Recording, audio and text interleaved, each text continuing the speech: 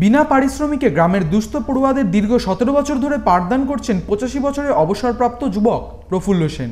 ইচ্ছে থাকলেও কর্মজীবনে গ্রামের ছোট ছোট ছেলে মেয়েদের পাঠদান করতে পারেননি। তাই অবসর নেওয়ার পর দীর্ঘ সতেরো বছর ধরে গ্রামের দুস্থ পড়ুয়াদের সম্পূর্ণ বিনা পারিশ্রমিকে পড়িয়ে চলেছেন রায়গঞ্জের রায়পুর গ্রামের বাসিন্দা প্রফুল্ল সেন। বর্তমানে তার বয়স পঁচাশি বছর। কেন্দ্রীয় সরকারের বর্ডার সিকিউরিটি অর্গানাইজেশন দপ্তরের অফিস সুপারিনটেন্ডেন্ট পদে কর্মরত ছিলেন তিনি।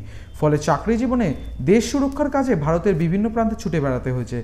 তাই নিজের গ্রামের ছেলে মেয়েদের পড়াশোনার সুযোগ হয়ে ওঠেনি। তাই অবসর নেওয়ার পর সেই সুযোগ হাতছাড়া করতে চাননি।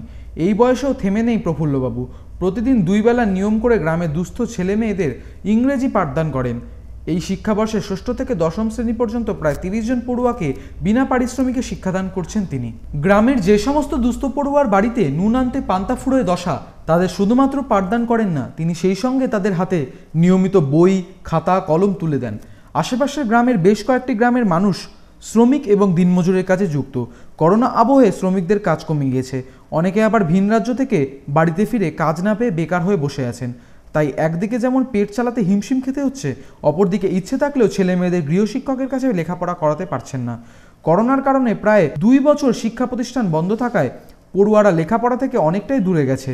গ্রামের ছেলেমেয়েরা যাতে পড়াশোনার জগৎ থেকে সরে না যায়, সেজন্য তাদের লেখাপড়ার দায়িত্বভার নিজের কাঁধে তুলে নিয়েছেন প্রফুল্লবাবু।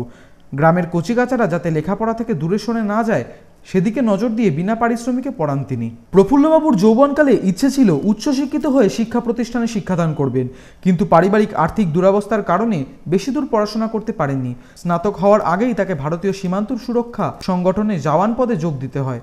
পরবর্তীতে চাকরি ক্ষেত্রে পদোন্নতি ঘটে তার। এরপর দীর্ঘ কর্মজীবন কাটিয়ে দু হাজার দুই সালে তিনি অবসর গ্রহণ করেন।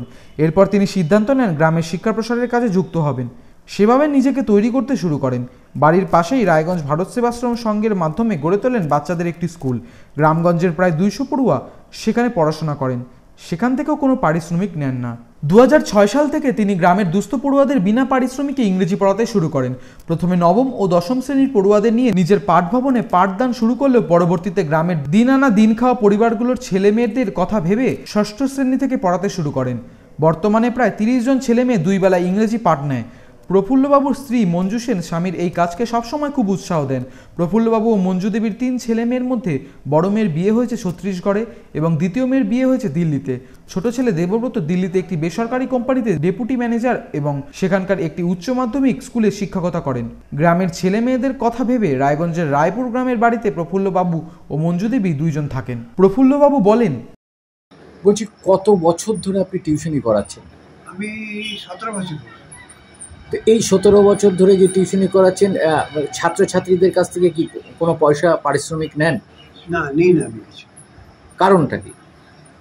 কারণ আমি চাই প্রথম তো আরম্ভ যখন করেছিলাম যে যারা একদম গরিব ছাত্রছাত্রী পড়তে পারে না টিউশন পড়ার ক্ষমতা নেই তাদের জন্য আমি স্টার্ট করেছিলাম। তার কারণে এক একটা বইও আমি কিনে দিয়েছিলাম প্রথম এখনও দিই। তারপরে অবশ্য একেবারে দুস্থ নয় যারা একটু মধ্যবিত্ত তারাও পড়ে। যে আসে তাকেই পড়ে।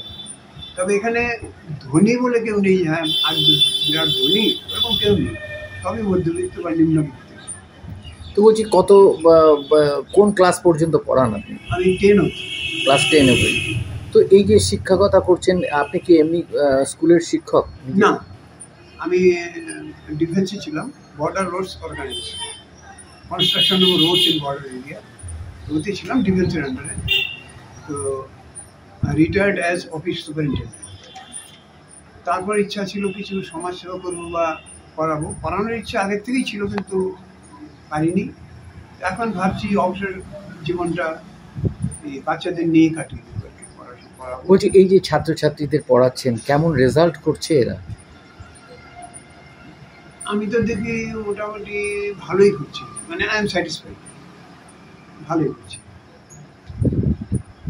তো যে পড়াচ্ছেন যে উৎসাহের সঙ্গে পড়াচ্ছেন এটা কতদিন মনে হয় যে আপনি চালাবেন এটা? যতদিন আমার শরীর আলো যতদিন আমি একদম পঙ্গু না হই ততদিন আমার চালানোর ইচ্ছা। এই যে স্যারের কাছে পড়ছো তার নাম কি? তো বলছি যে এনার কাছে কি কি সাবজেক্ট পড়ো? English English grammar English English grammar কেমন পড়ান স্যার? এখানে তো কোনো পারিশ্রমিক লাগে না। মানে পয়সা দিয়ে তো পড়তে হয় না। তো সেই জায়গায় দাঁড়িয়ে কেমন রেজাল্ট করছ স্কুলে রেজাল্ট বলতে মোটামুটি ভালো স্কুলের স্যাররা বলে না যে তোমরা আমাদের কাছে পড়ো না, অন্য স্যারের কাছে পড়ছো। এরকম কেউ কিছু বলে যে রেজাল্টের দিক দিয়ে বা পড়ার দিক দিয়ে? তো এই যে স্যার পড়াচ্ছেন, তোমাদের নিজের কেমন লাগে? স্যারের সঙ্গে কেমন সম্পর্ক তোমাদের?